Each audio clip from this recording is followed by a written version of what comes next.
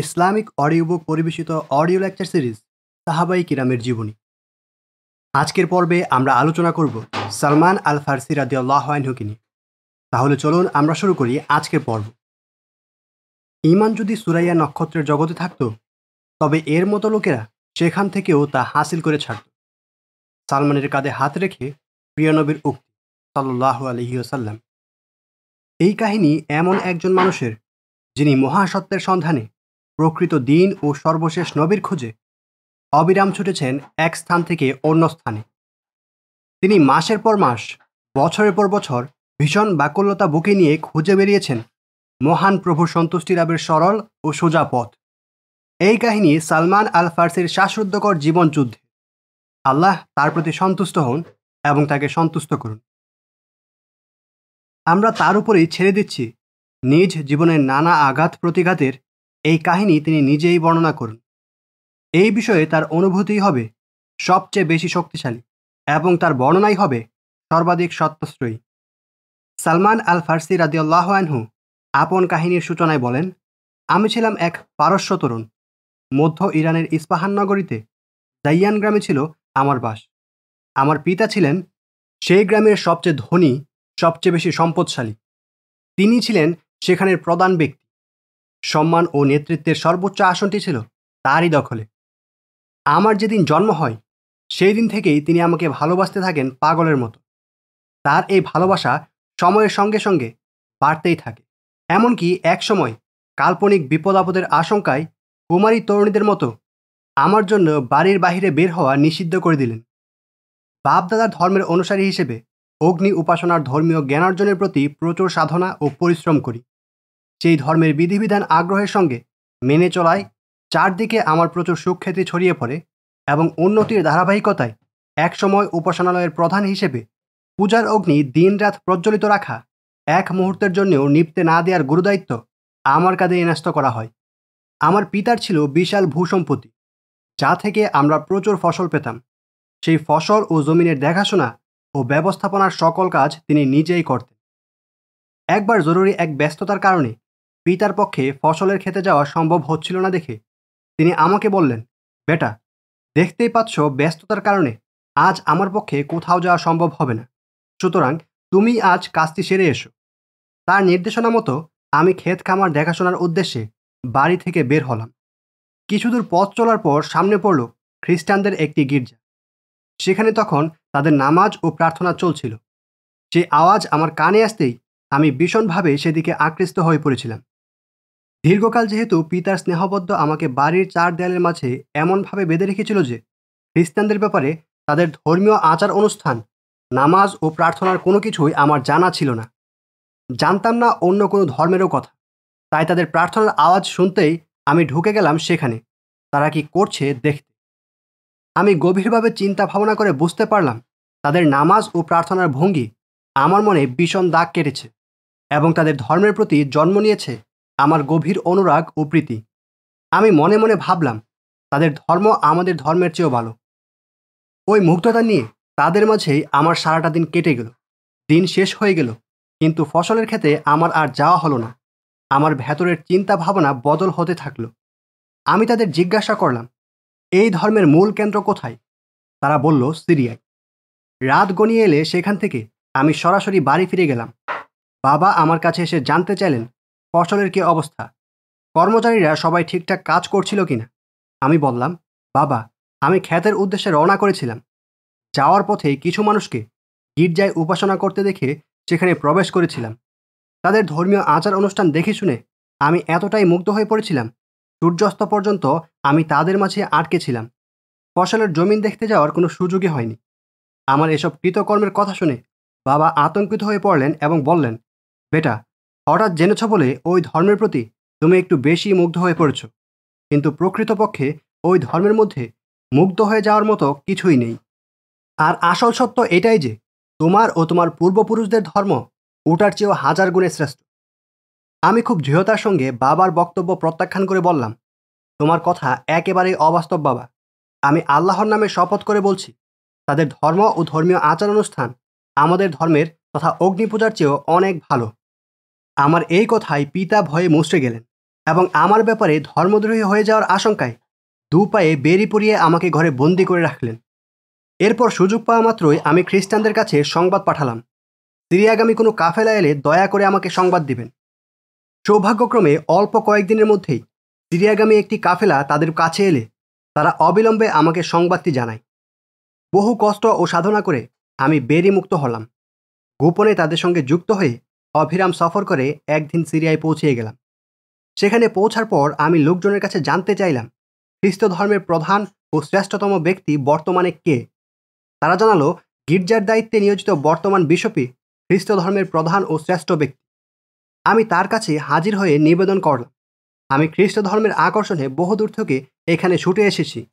আপনি অনুমতি দিলে আমি আপনার সার্বক্ষণিক শিষ্য হতে চাই।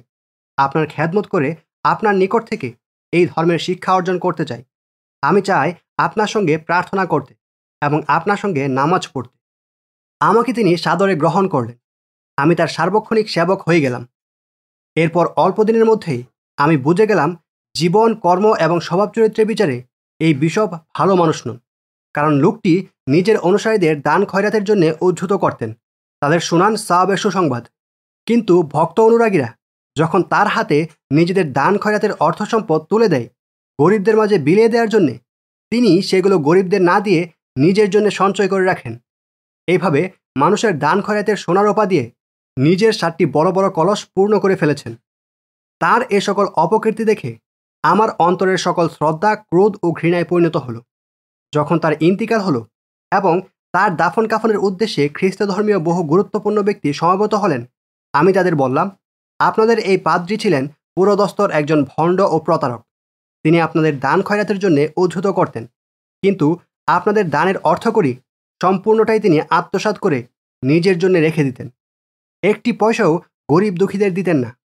তারা আমাকে জিজ্ঞাসা করলেন, তুমি এসব জানলে কীভাবে? তাদের সন্দেহ দূর করার জন্যে আমি বললাম, আপনারা চাইলে আমি তার সঞ্চিত ধনভাণ্ডার আপনাদের দেখাতে পারি। তারা বললেন, ঠিক আছে, সেটাই করো।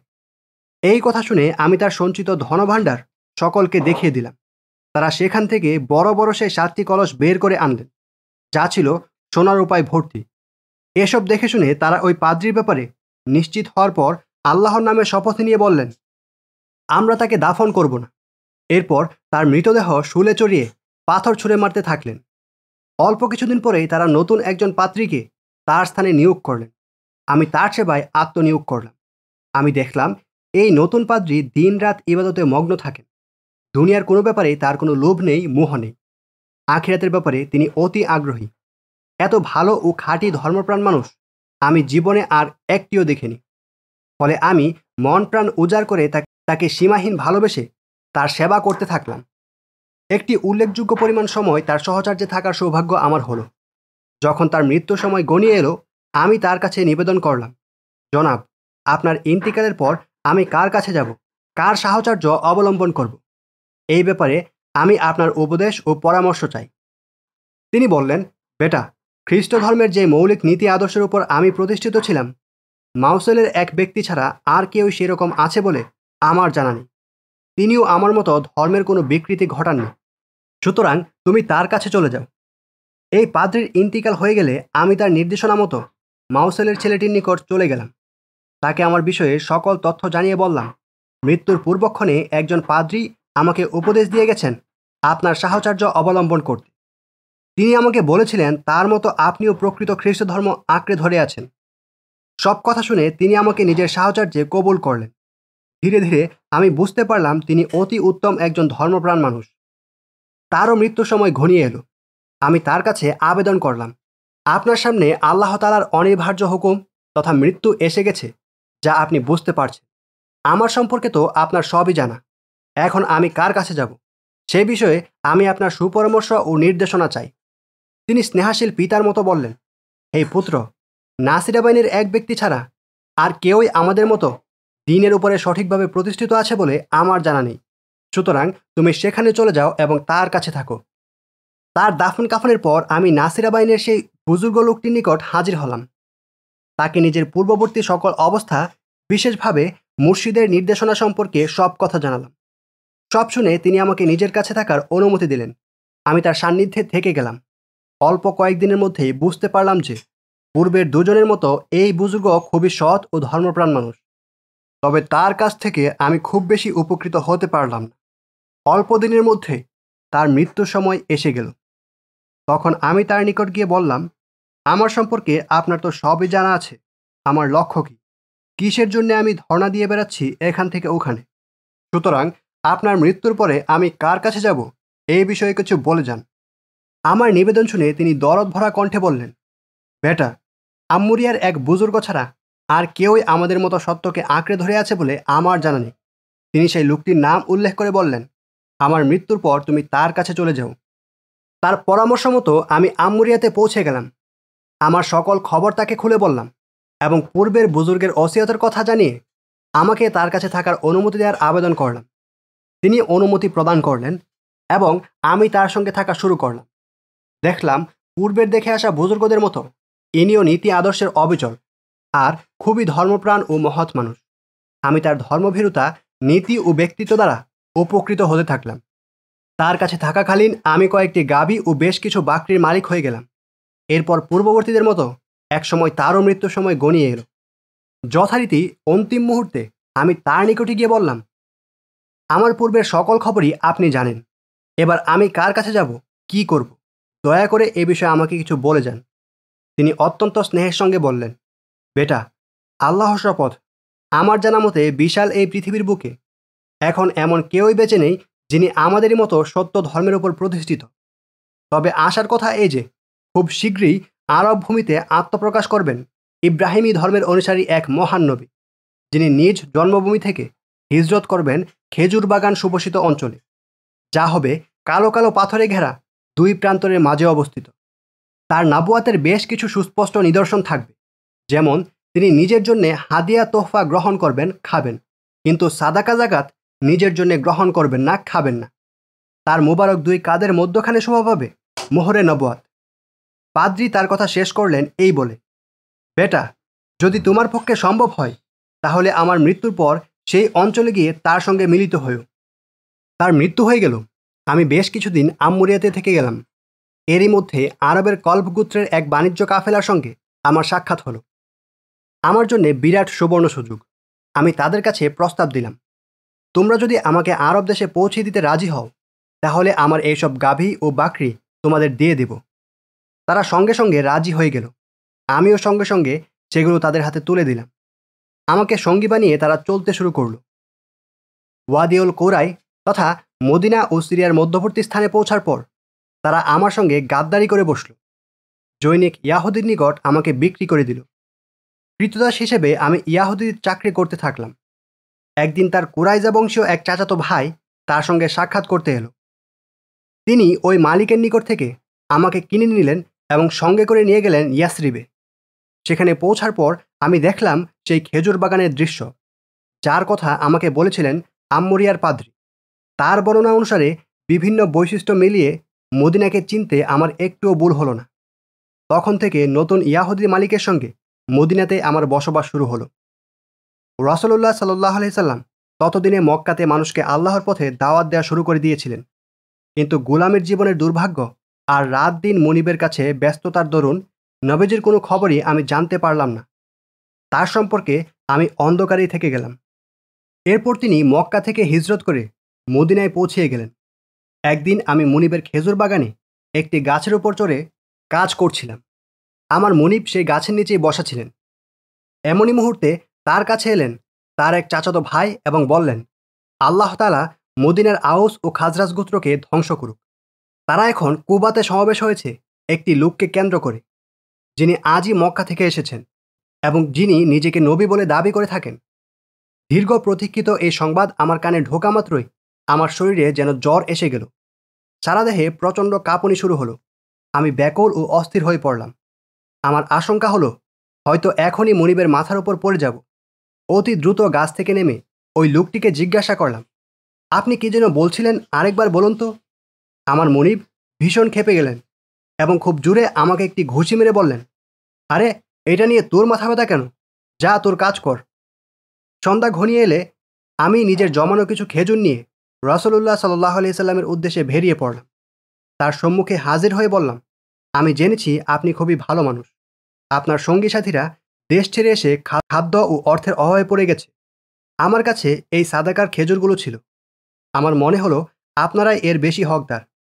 এই বলে আমি তার সম্মুখে খেজুরগুলো রেখে দিলাম। তিনি সাহাবিদের বললেন, এই নাও, তোমরা এগুলো খাও। নিজে তিনি একটি খেজুরও খেলেন না, সবই সঙ্গীদের দিয়ে দিলেন। এটা দেখে আমি মনে মনে বললাম, যাক, একটি আলামত মিলে গেল। এরপর আমি ফিরে এলাম, আবার খেজুর জমানো শুরু করলাম। রসল্লাহ সাল্লাহ সাল্লাম যখন কুবা থেকে মদিনায় এসে গেলেন, আমি তার খেদমতে হাজির হয়ে বললাম, প্রথমবার বুঝতে পেরেছি আপনি সাদাকার খাদ্য খাবার নিজে গ্রহণ করেন। এজন্যে আপনার প্রতি ভক্তি ও ভালোবাসার নিদর্শন স্বরূপ হাদিয়া হিসেবে এই খেজুরগুলো এনেছি। এবার তিনি নিজেও খেলেন এবং সঙ্গীদেরও নিজের সঙ্গে খেতে বললেন। আমি মনে মনে বললাম, দ্বিতীয় আলামতটাও মিলে গেল। এরপর আমি রসল্লাহ সাল্লাহ সাল্লামের সঙ্গে সাক্ষাৎ করলাম মদিনার বিখ্যাত কবরস্থান বাকিউল গরকাদে।